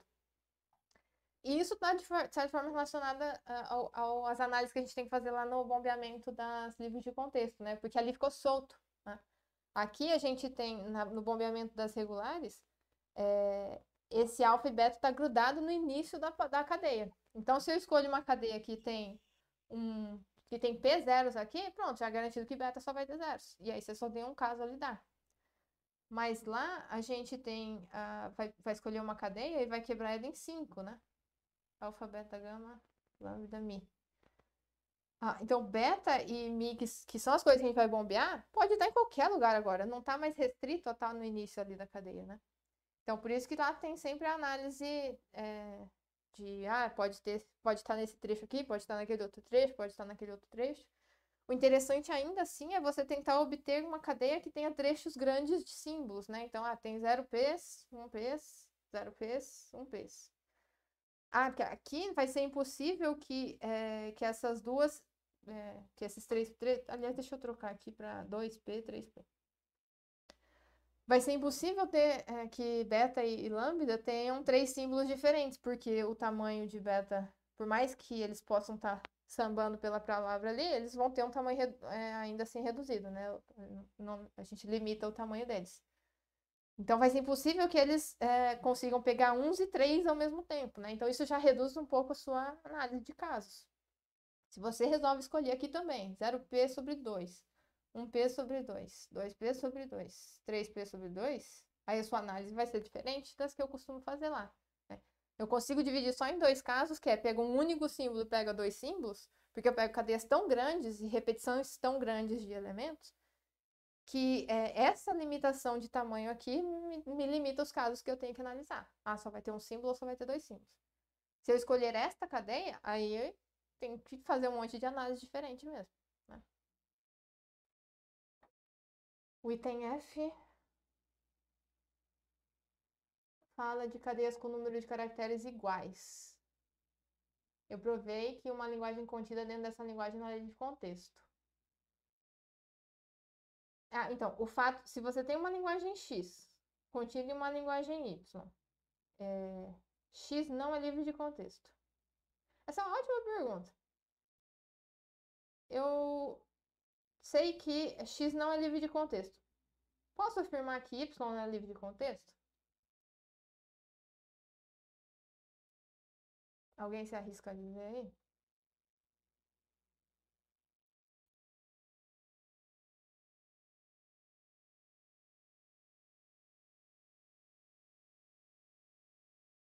Não. Não, eu não posso afirmar. E eu posso provar para vocês que eu não posso afirmar isso. Pega a linguagem 0N1N. Essa linguagem está contida na linguagem 0 estrela 1 estrela. E 0 estrela 1 estrela claramente não é livre de contexto, porque inclusive apresentei ela como expressão regular. né?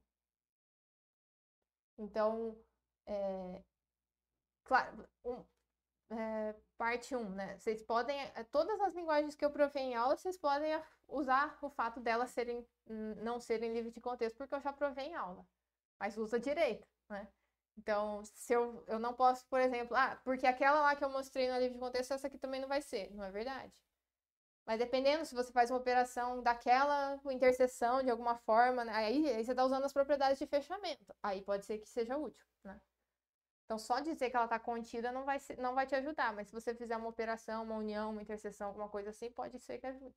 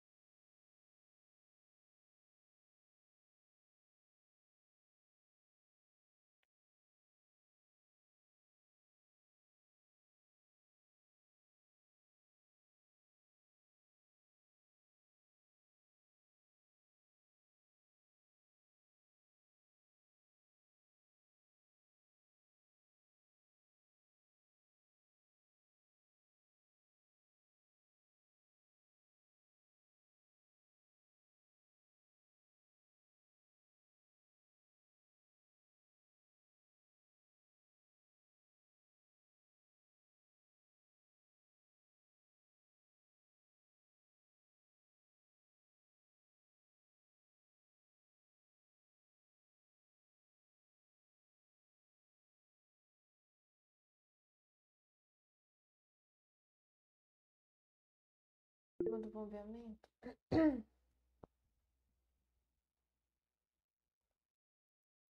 Deixa eu escolher uma linguagem aqui.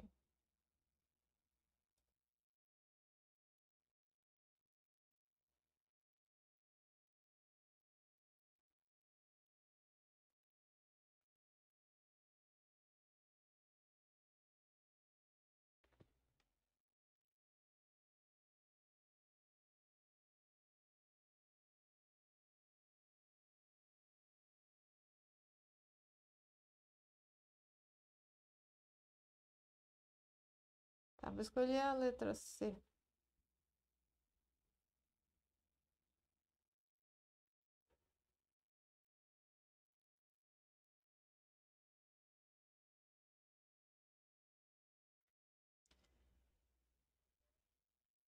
Chama de X. Tá, então X, a gente quer provar que ela não é livre de contexto. Se fosse, o lema deveria valer, né? Então, se X é livre de contexto, é, vai valer o lema, então existe um valor P, tal que qualquer, lingua qualquer cadeia, qualquer cadeia de X com comprimento maior do que P, é, vale as três coisinhas lá do lema, né? É...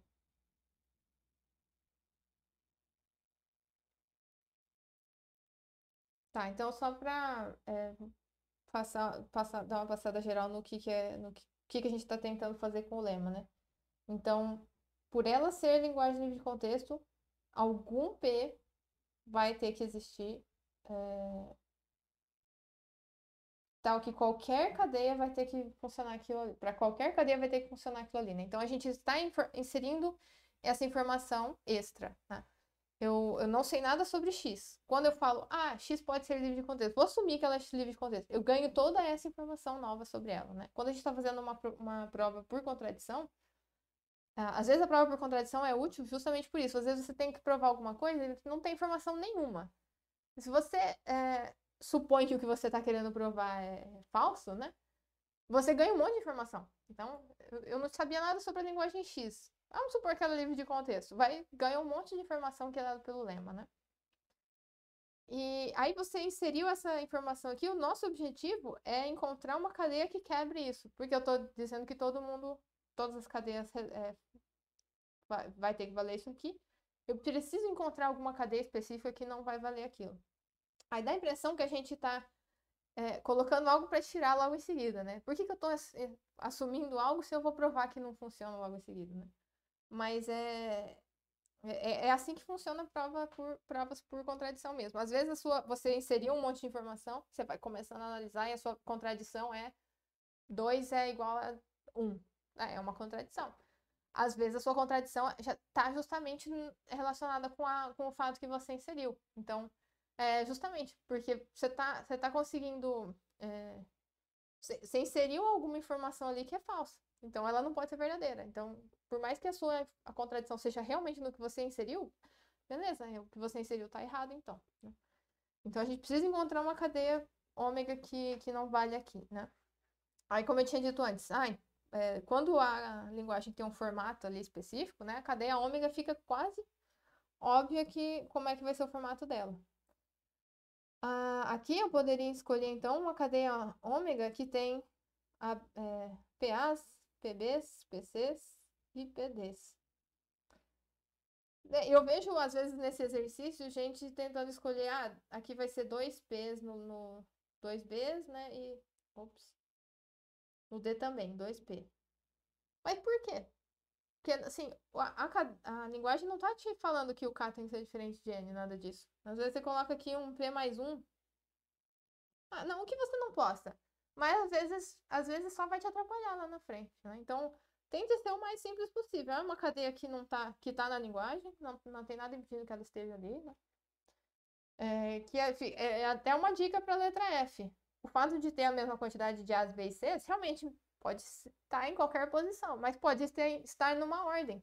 E quando a cadeia está numa ordem, me ajuda na, na hora de avaliar aqui né, no lema, porque você vai você vai conseguir mostrar que aqueles pedaços que você está dividindo está num certo bloco, né? Então, o exercício, se o exercício não está te impedindo que tenha blocos de de caracteres, é o que eu disse antes. Esses blocos muito grandes de um mesmo caractere estão me ajudando a provar depois. Então, faça blocos grandes de caracteres.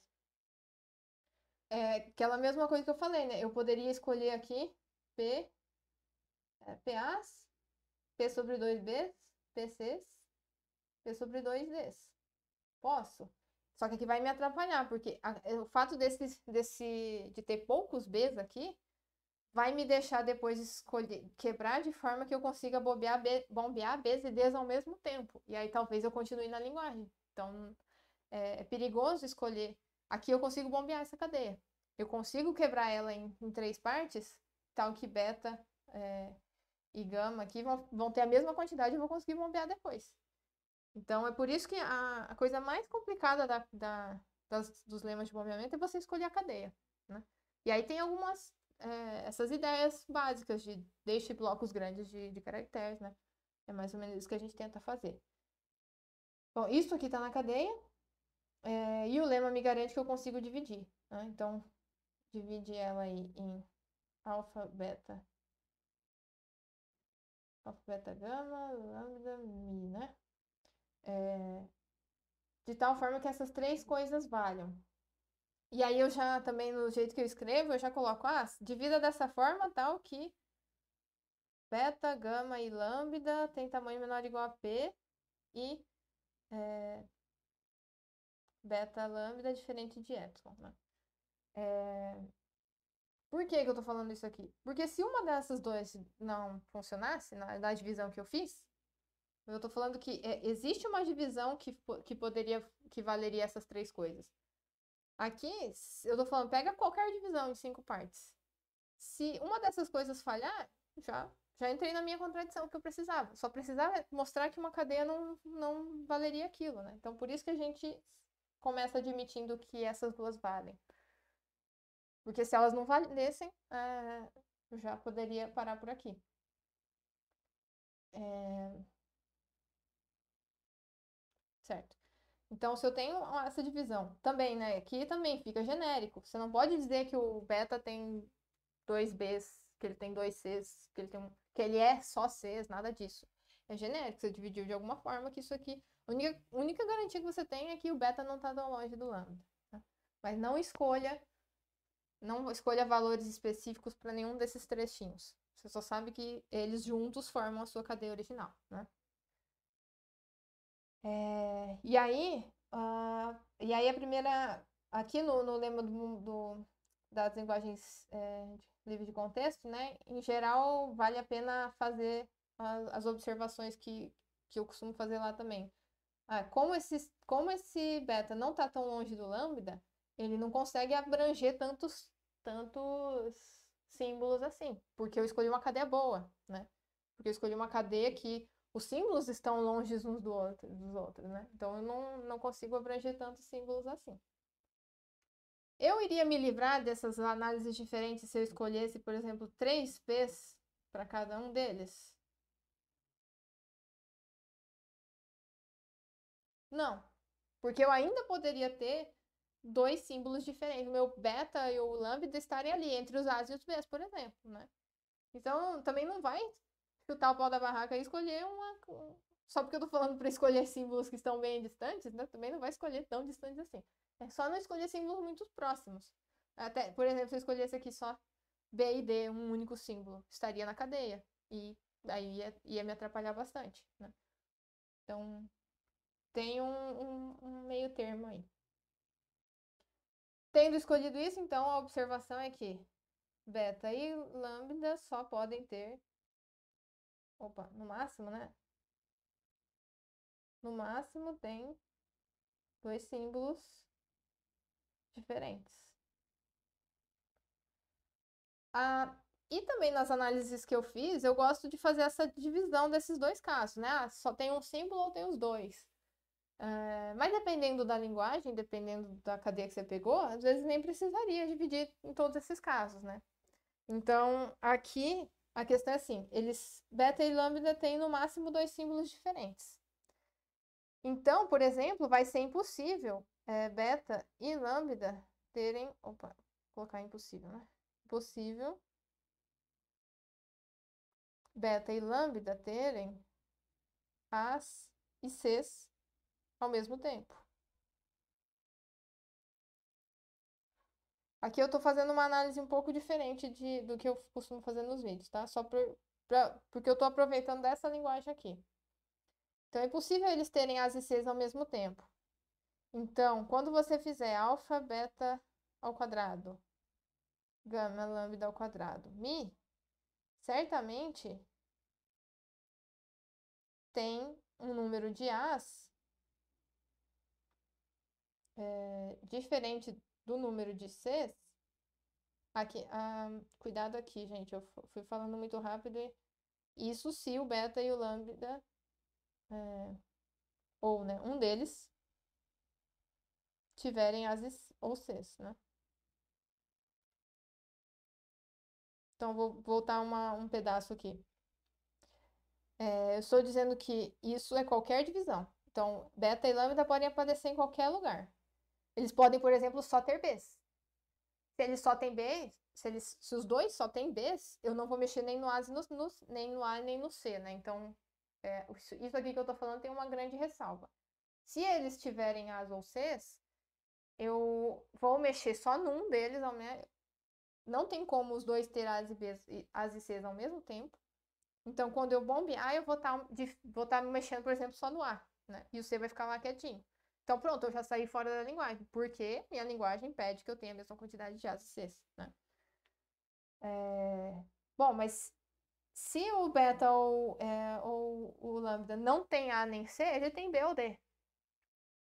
Então, se beta ou lambda tem, A, tem B ou D, Bs ou Ds, então na hora que você mexer ali, você só vai conseguir mexer ou só nos Bs ou só nos Ds. Você não vai conseguir mexer nos dois, né? Então será impossível também, é, também, né? É impossível ter os dois ao mesmo tempo. Se eles escolherem, é, se a gente escolher essa divisão de forma que tenha Bs é, em algum deles, não vai ter como ter o D no outro, né? Vai então, também, vai ser impossível ter os dois ao mesmo tempo, então a hora que eu bombear, eu vou mexer na quantidade ali, estragou. Mas porque eu tenho que ter a mesma quantidade de Bs que Ds, tá? Então, eu posso fazer uma análise um pouco diferente da análise que eu fiz, tentando só observar aqui, sem, sem fazer, mesmo que tivesse dois símbolos, né? Então, se beta tem As ou Cs, tá, vamos supor, beta tem As. Pode ser que ele tenha Bs também, não importa, mas só o fato dele ter As significa que ele não vai ter Cs. Então, eu não vou conseguir bombear os Cs. Cs vai ficar lá paradinho enquanto eu aumento a quantidade de As, né? Então, poderia ser uma análise um pouquinho diferente. A, a intenção é observar que, é lembrar que você tem que, é, tem que ter em mente todas essas possibilidades, né? O fato de eu ter quebrado em cinco partes não me garante que o que onde que vão estar essas cinco partes. Por isso que, por mais que eu tente simplificar a análise de casos, ainda tem casos a serem lidados, né? Então, o jeito que eu fiz nos vídeos era, ah, só tem um símbolo repetido ali, em cada um deles, né? Ah, então eu fiz todas as análises possíveis, né? Então, deixa eu colocar aqui. Aqui só tem As, aqui só tem Bs, Cs e Ds, P de cada um. É, e aqui vai ter o beta, é, gama, lambda. Daí lá eu fiz, ah, ele só tem um símbolo, então pode ser que os dois tenham o mesmo símbolo que é o A, tanto beta quanto lambda tem o A. Aí eu vou analisar o caso onde o beta só tem As e o lambda só tem Bs, só tem um símbolo em cada um. Ou só tem Bs nos dois, ou um tem Bs e outro tem Cs. Ah, então essa acaba sendo uma análise bem, bem comprida. Para essa linguagem eu não precisava ter feito tudo isso, né? O que eu estou falando aqui é, é, se eu só tivesse é, se eu só tivesse As no beta, por mais que eu pudesse ter também Bs no beta, não importa. Só vou, não vou conseguir ter os Cs. É isso que me importa mais. O fato de eu só conseguir mexer nos As e não conseguir mexer nos Cs ao mesmo tempo. Fiz essa observação, é um caso. Mas pode ser que eu tenha. É, tem que lembrar, né? Que pode ser que só tenha Bs. Ah, então, se eu só tiver Bs ou só tiver Ds, né? É, eu vou deixar de mexer no outro pedaço. Não tem como. Não tem como é, eu pegar ao mesmo tempo Bs e Ds, que aí seria uma coisa muito grande. Estaria falhar, falhando na, na parte 2 do lema, então nem precisaria estar provando nada. Ah, então, o é importante é você lembrar que tem alguns casos, por mais que não seja exatamente do jeito que eu faço lá, mas tem que lembrar que tem esses casos, porque eu não consigo dizer exatamente como é essa quebra. Eu, eu preciso provar, aliás, né? Lembrando, eu tô falando que existe alguma forma de quebrar, né? No lema. Vai ter um P, vai ter um, qualquer palavra, eu vou conseguir de alguma forma quebrar essa palavra. Então, quando a gente está aqui, eu estou tentando provar uma contradição. Essa cadeia não pode ser bombeada de qualquer jeito que você tente quebrar. Por isso que tem análise, as análises de casos, né? Qualquer, qualquer parte que tivesse esse beta aqui, não importa, eu não ia conseguir bombear. Então, é, é isso que é, que é importante de lembrar, né? Eu não posso, é, não posso escolher um P, não posso escolher uma forma de quebrar. Eu, só que eu tenho outras garantias que vão me ajudando a, a, a, a chegar onde eu quero, né? Mas eu não tenho algumas coisas que têm que ser genéricas. Principalmente a escolha do P e a forma de quebrar. Tem que ser genérico. Por isso que você tem que analisar um monte de casos, porque pode ser qualquer coisa. Pode ser qualquer forma de quebrar.